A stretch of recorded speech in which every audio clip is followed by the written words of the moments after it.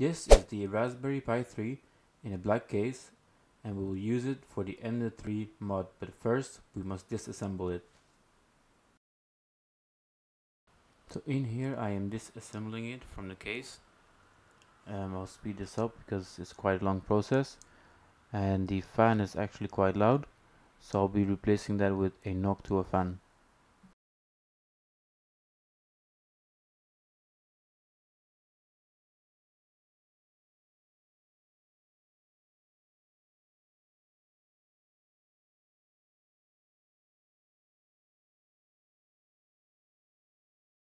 So once I've got all the screws out you can see the Raspberry Pi and the memory card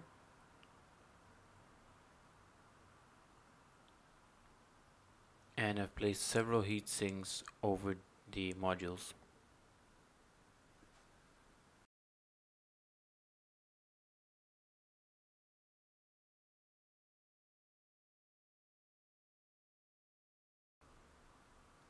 So the next step is to download the case that goes underneath the LCD. Uh, it came out pretty good. There's some retraction issues and you can see just a bit of ghosting but overall it looks pretty good. By the way, this print took about 9 hours and it doesn't need any screws or zip ties for the Raspberry Pi as you can see. It's almost a snap fit and it fits perfectly fine for the Raspberry Pi 3.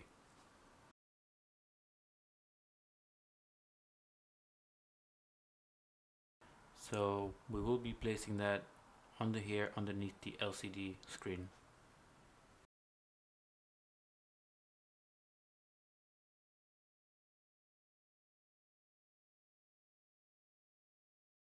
Of course to accomplish this we have to first take off the screen and make sure you save those screws. And once you've done that all you need to do is take off the four screws underneath the screen. Now because of the design uh, the, the design only takes in three screws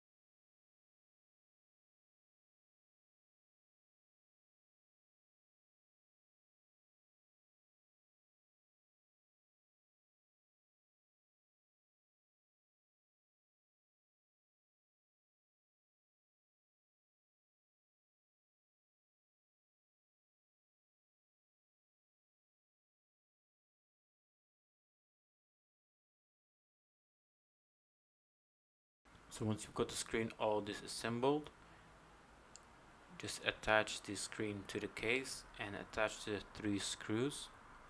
The fourth screw or has a mounting place on the case so you will need a screw for that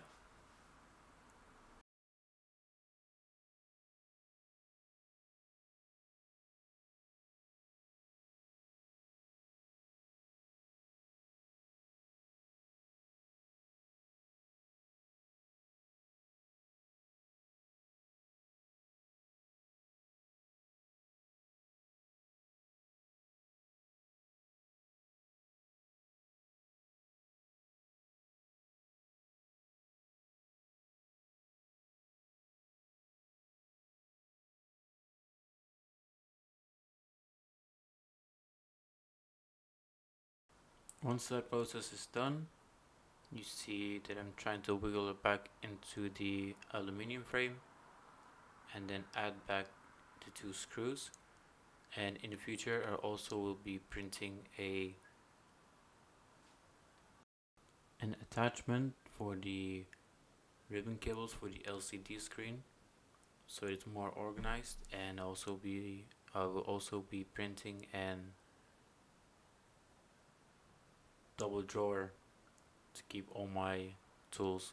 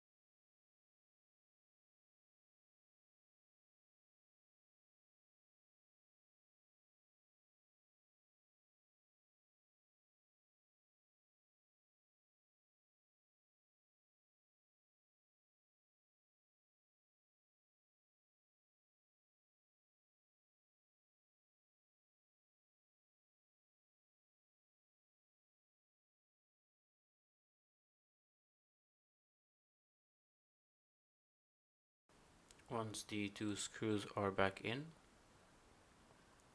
can put back the cable in its original location. And initially you should have something like this.